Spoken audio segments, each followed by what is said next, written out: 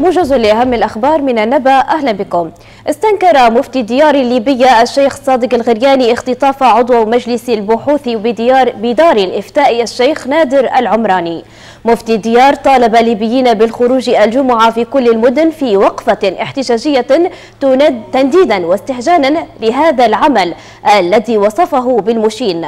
كما أهاب الشيخ الصادق بالكتائب الأمنية في طرابلس أن يعلنوا استنكارهم لما حدث للشيخ نادر وأن يتبرأوا من هذا الفعل حسب ما ورد في البيان.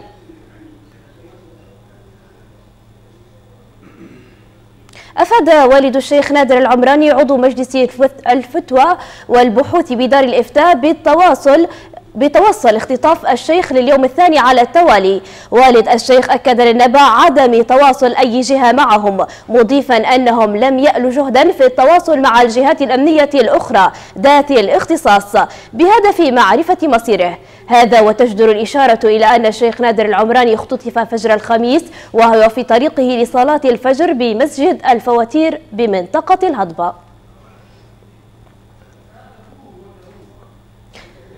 دعت لجنة إدارة الأزمة ببنغازي إلى الخروج في مظاهرة اليوم الجمعة في الميادين العامة تضامنا مع أهالي قنفودا لجنة اللجنة في بيان لها طالبت الليبيين والأسر النازحة من بنغازي بالوقوف صفا واحدا مع أهالي قنفودا العالقين بهدف إخراجهم من المنطقة. فيما تجدر الإشارة إلى أن منطقة قنفودا تتعرض بشكل مستمر لقصف من قبل ميليشيات الكرامة والطيران الأجنبي المساند لها.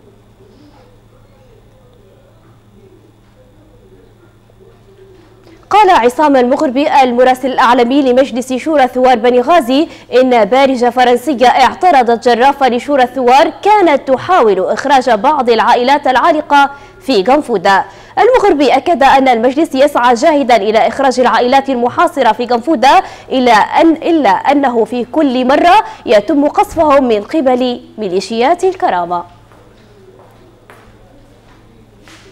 نهاية الموجز إلى اللقاء.